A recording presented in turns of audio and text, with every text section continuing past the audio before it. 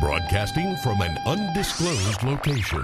Freedom Radio on 107.7 FM, Baghdad.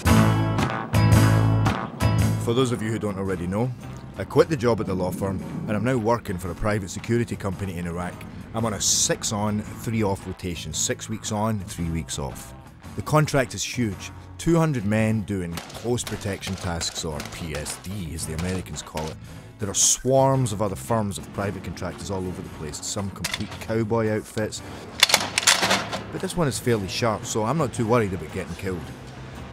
I'm currently tasked at the Baghdad office working out of a villa in the Green Zone, where the CPA, that's the Coalition Provisional Authority, has set up shop. The city on the whole is in ruins, but it doesn't seem all that dangerous right now. Allah Akbar!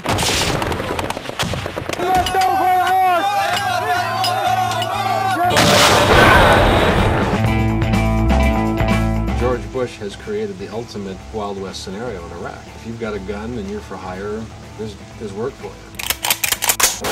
A mercenary is somebody who goes and fights and gets paid for it. Private military firms are the corporate evolution of the age-old mercenary trade. If someone wants to go and overthrow a despot government, they're going to be hard pushed to get the right type of guys, because most of those guys are actually working in Iraq.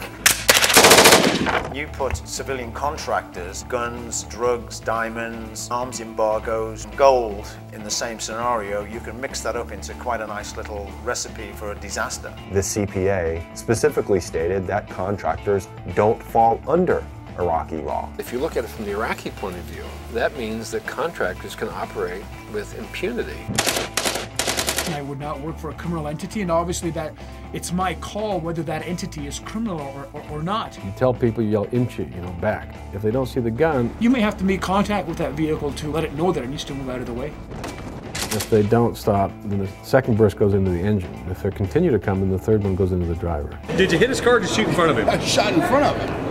It may have fucking ricocheted and hit his car, but I do nothing different than does anybody when they go work for IBM or any other corporation in the world.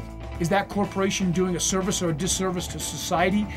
And if you believe they're doing a disservice and you still work for them, what does that make you?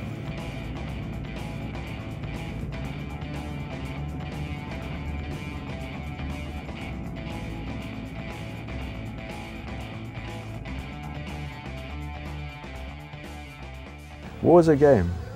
It's the ultimate game. There's nothing to touch it.